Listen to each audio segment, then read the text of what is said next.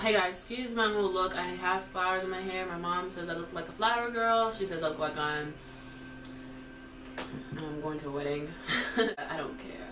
It's fall. I know, I understand. You're supposed to be wearing like red flowers or orange, even yellow, but I'm wearing white. I mean, can it look like winter flowers? Snowflake flowers? I don't care. I can do what I want, okay? Whatever. Okay, let's get into the video. Yeah! Today is my five month post Big Chop anniversary. Um, and there are some changes that I've decided to make.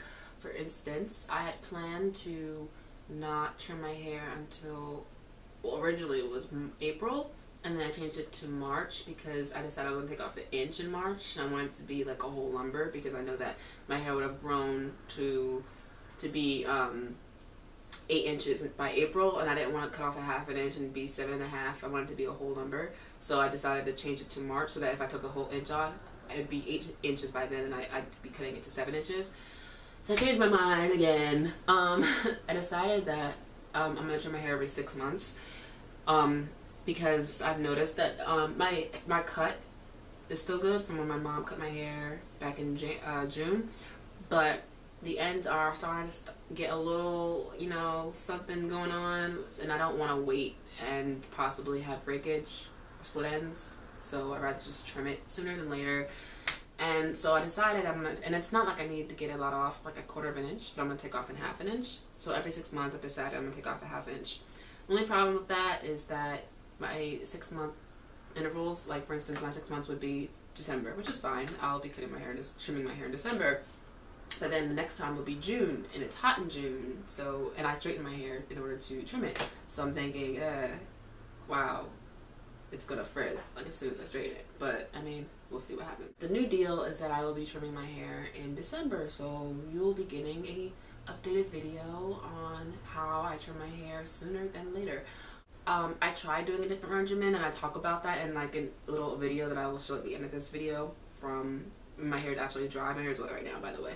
Um, I just washed it. But uh, what I did was I washed my hair and just slapped in a whole lot of Tresemme Naturals and a little bit of Eco Styler Gel and it looked really good um, while it was wet. Um, and it was a lot fuller and bigger and whatever. But once it dried, it turned into like frizz galore, tangles galore. It's just no. I decided to go back to the basics and continue to do my original regimen from from which I showed you back in June, which is my shea butter and coconut oil mixture um, and my Eco Styler gel and that is the best regimen like I don't really need to change my products I don't I think the best thing to do is to keep it simple and to keep it natural and to me shea butter is natural comes from the comes from I don't know if it comes from the ground but it comes from the earth um, coconut oil is natural comes from the earth and then glycerin is the Eco Styler Gel. And I think that's simple and you're locking in the moisture and you're styling it. And that's all you need to do. Me buying five, fifteen hundred dollar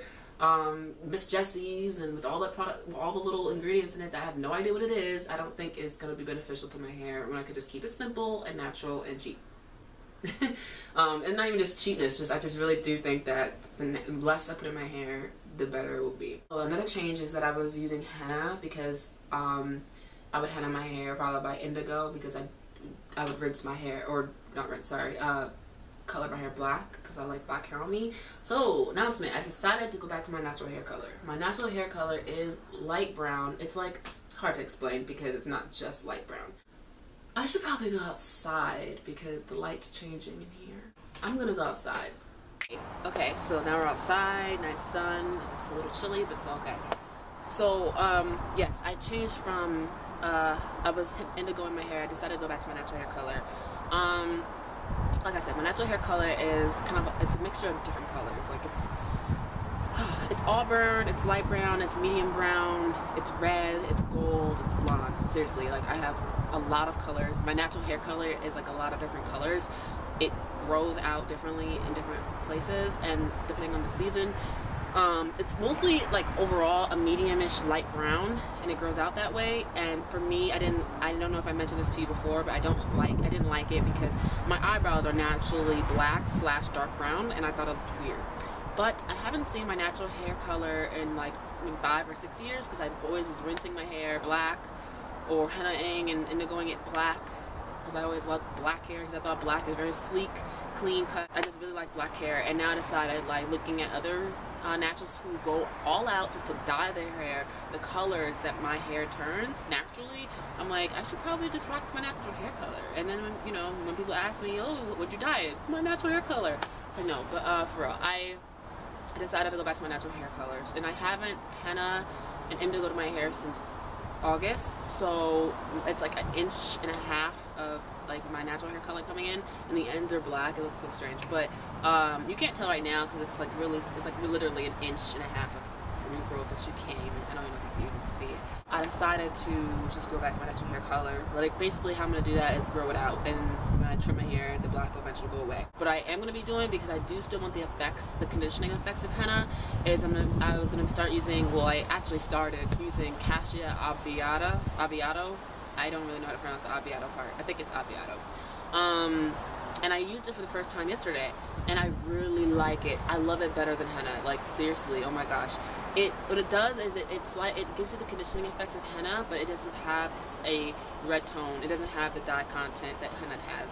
Instead, it has yellow dye content. If you have blonde hair, it will show up in your hair. It will show up as more golden, more more like a golden uh, sun-kissed color because my natural hair is um, is lighter, it's a lightish brownish, it shows up on my baby hairs and it's so strange because now my baby hairs are kind of gold. Uh, it shows up a little bit in my natural hair, not much, just kind of like leaves a more of a golden hue, um, but not really because my hair's not blonde. Um, not all of it anyway. Lately I've been wearing a lot of wash and goes. I wore wash and go all last week. Um, I think I'm really getting into wash and goes, even though my hair is like still in an awkward stage. I've been using headbands as a way to keep it out of my face. And oil, I don't really like hair in my face. I never did. Even when I had my hair was like naturally long and curly before, I never, I always had my hair straight back. Always had the curls going back away from my face. I don't like curls cover my face. It makes me feel claustrophobic. Um, I feel like it looks strange having hair in my face. On me, like I would never, I don't like bangs on me, like stuff like that. It's hard to keep my hair on my face as it grows because it's just going up and up and down. So that's the reason why I was doing a lot of protective styling and a lot of other types of styles because I didn't know what to do with my hair because it's being awkward. But now I've discovered the headband and I've been using headbands and I really like it with my with my um, wash and goes. On top of the fact that my wash and goes are a lot longer, if you can tell. They're a lot longer than they were when I first cut it, so that's helpful. You can see it from the sides now. And my curls have gotten more defined um, now since uh, it's grown out some.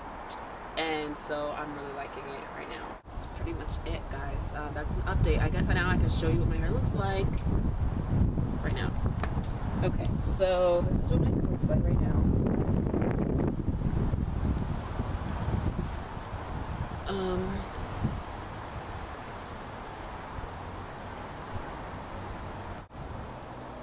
now I guess I'll just show you a little video expert that excerpt that I made while I was at work one day. So that's it guys. Uh, stay tuned.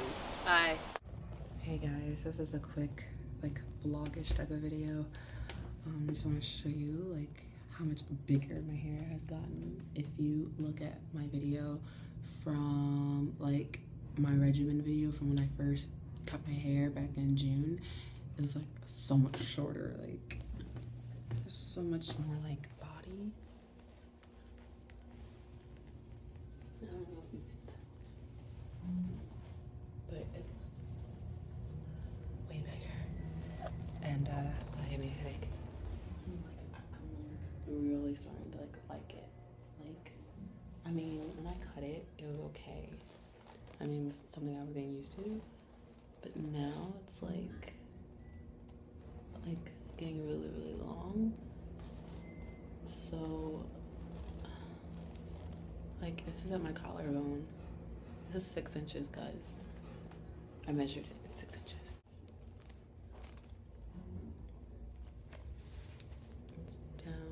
Here. Yay! It's getting long, guys. Shrinkage is crazy, but it's okay. so what I did, I changed my regimen, and I'll probably do a regimen video at my six month anniversary, which is December. But um, so I parted it. I wanted to lean this way, but it ended up coming back down, which is fine. Because I felt like if it was leaning this way, it would just look stupid. Whatever. I mean, my hair isn't perfect because it's not, it's still not like long enough. It's not like as long as it, I want it to be.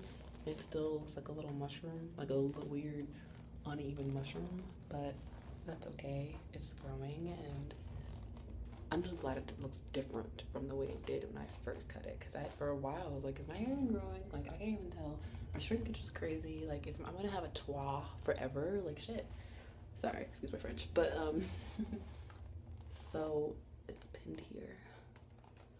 And, um, all my little curlies. Hair is a little hair porn for y'all. Um, my curls.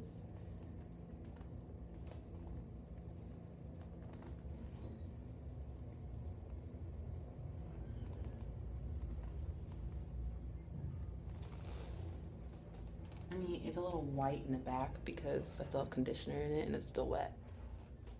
So that's white conditioner. It'll dry, I'll go away.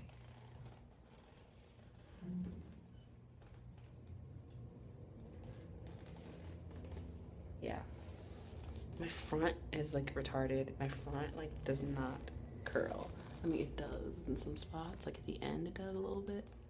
But for the most part, like like this it's like well not a good example. Like this one. No wait hold on. This side's Seriously, like this. This is like straight. But it's frizzy. It's like frizz.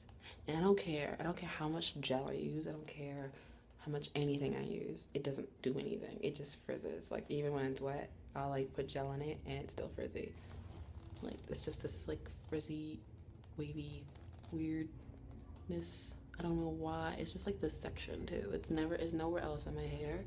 It's only like this section, this little piece. It's like a little triangle area, like a Bermuda triangle where like it doesn't do anything. It just kind of does nothing. Just frizz weirdness. And like it frizzes like right here. That's what I don't like. Is that my hair is one texture all through the back, all at the top, all the sides and then all of a sudden I have this like crazy like frizzy front and it's great it's weird that it frames my face so it's like you'd like some nice curl action like you do in the back and the front but no my hair is retarded but it's okay I love my hair anyway. And I'm glad it's growing. Yay okay guys that's it. That's all I wanted to say